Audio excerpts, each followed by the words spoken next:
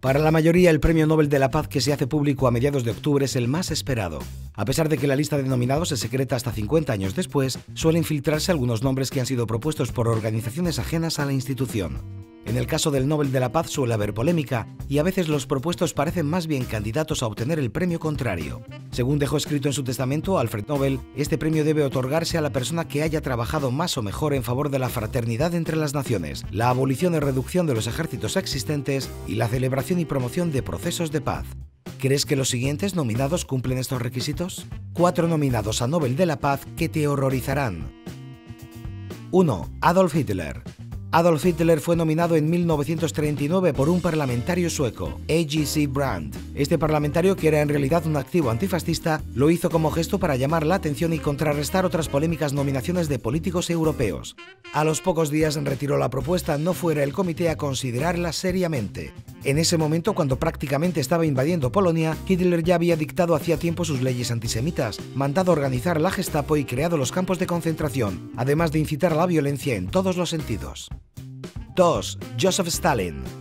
Las nominaciones de Stalin no fueron sardónicas como la de Hitler. La primera vez fue propuesto en 1945 por Halvdan Kohn, exministro noruego de Exteriores, y la segunda en 1948 por un profesor de la Charles University de Praga. Al parecer se valoraron sus esfuerzos por poner fin a la Segunda Guerra Mundial. Hay que decir en defensa de los que lo propusieron que en ese momento no se sabía que era uno de los dictadores más sanguinarios de la historia de la humanidad causó la muerte de más de 720.000 personas solo en ejecuciones directas, contándose en millones los que murieron y desaparecieron en prisiones, desplazamientos, deportaciones, gulags y demás.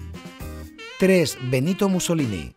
En 1935 fue propuesto por dos conductos diferentes, en primer lugar por Gilbert Gidel, profesor de la Universidad de París, y en segundo por los profesores de Derecho de la Universidad Alemana de Gießen.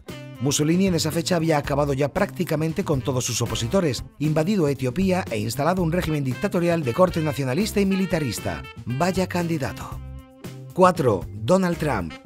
La última nominación asombrosa es la de Donald Trump, candidato a la presidencia de los Estados Unidos. Christian Berg, director del Instituto de Investigación sobre la Paz en Oslo, ha comunicado que alguien lo ha propuesto. Su mérito parece ser la ideología de la fuerza para conseguir la paz, cosa que evidentemente contradice la idea del creador de los galardones de premiar el trabajo hecho para mejorar la fraternidad entre naciones o la reducción de los ejércitos. Eso sin contar el resto de opiniones del señor Trump, que están alejadas del espíritu del galardón en todos los sentidos.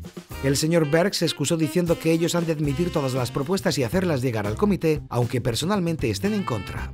¿Conoces a otros nominados al Nobel de la Paz que parece increíble que lo sean? ¿A quién propondrías tú? Sigue descubriendo más secretos de la historia suscribiéndote a nuestro canal.